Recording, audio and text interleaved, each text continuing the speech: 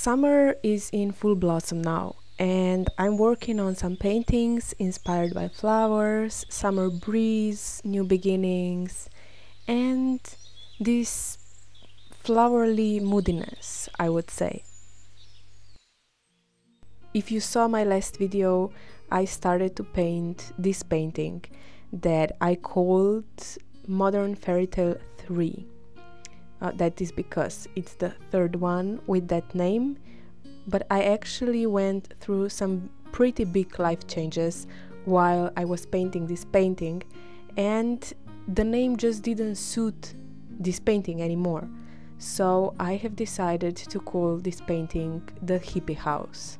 If you didn't saw my last video where I explained where the inspiration came from for this painting, I actually went for a walk one day, um, I think in late April or something like that, and I saw this garage um, below the house, and I I just saw something in it, took a photo, and then I painted it like it was the whole house. So yeah, uh, I had really loose references for this one, but I'm happy I did it.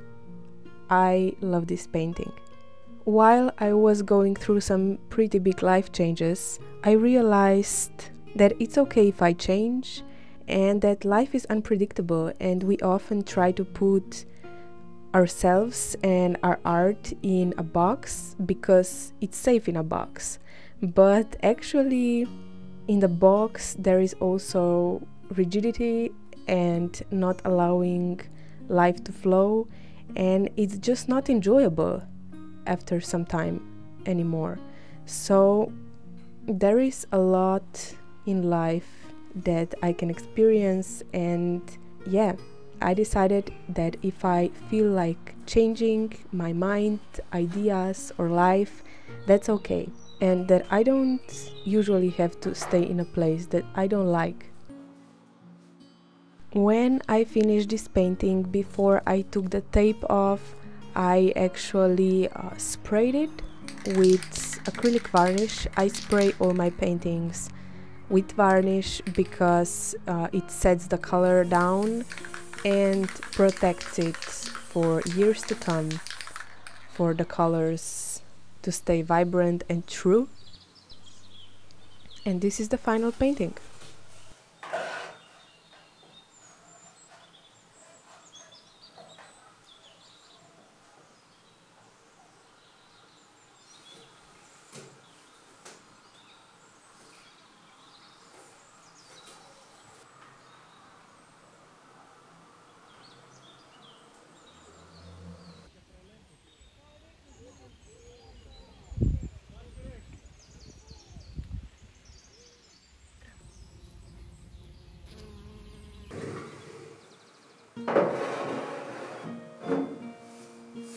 This other painting I also started in my last video. It is called Ataraxia and it represents a state of peace and quiet and stillness. And it's really inspired by the beauty that this summer brought to me.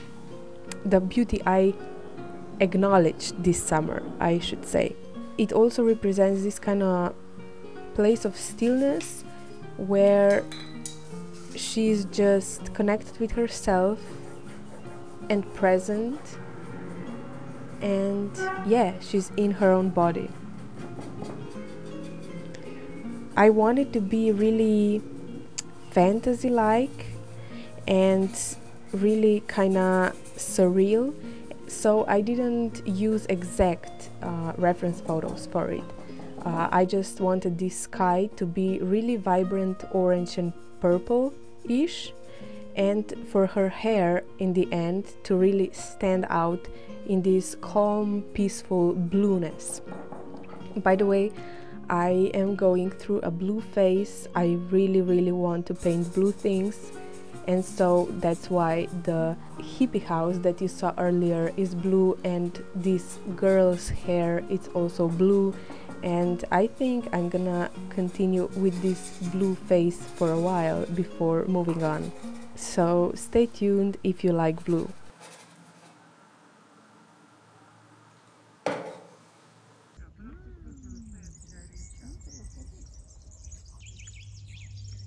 I wanted to insert this clip of the bee that got stuck with her head in the flower.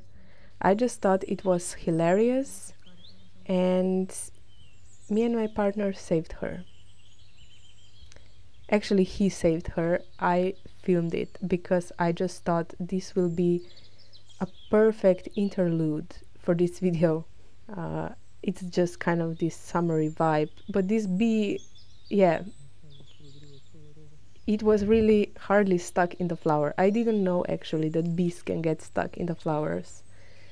So I'm not gonna spoil it. You will see what happens in the end.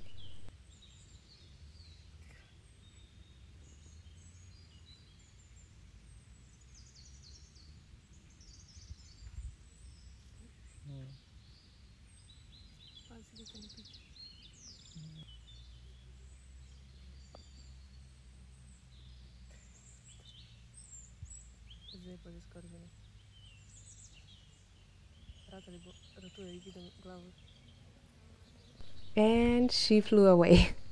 I think she will think twice before going in another flower of that kind again.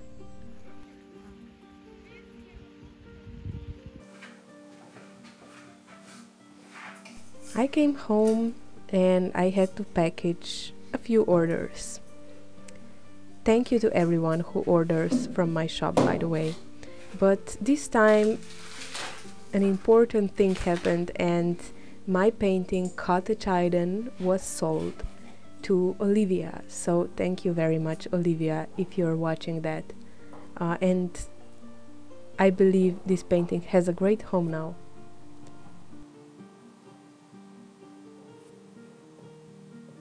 Here are just some stickers I like to include uh, in my orders and a thank you note. And yes, sending original painting away, it's always a bittersweet moment and I always like to watch it a little bit longer before I put it in a box. Yeah, it's hard to uh, to send it. First of all, because I really I think artists in general really got get attached to their paintings because paintings are kind of part of us and also something can go wrong in shipping. It never happened to me yet. I hope it will not. But yeah, it's really a little bit intimidating to send something like this uh, with a postal service across the ocean but I believe it's gonna be okay.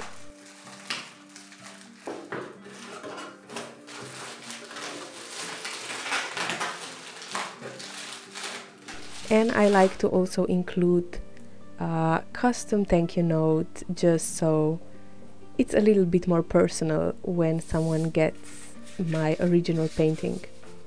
I am really so grateful always when I'm sending my art out in the world. It's such a humble experience. It's it's yeah, I can re- really describe it, but it's so nice to make something and then let it go into the world to someone who will cherish it.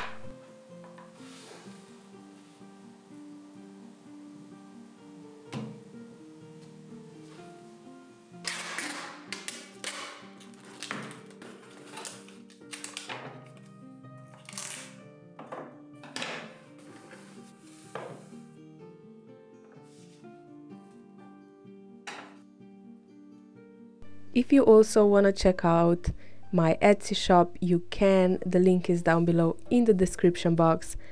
I sell all kinds of things that I personally make with my heart, including stickers, prints, and originals. So, yeah, if you can, check it out. If you can't, no worries.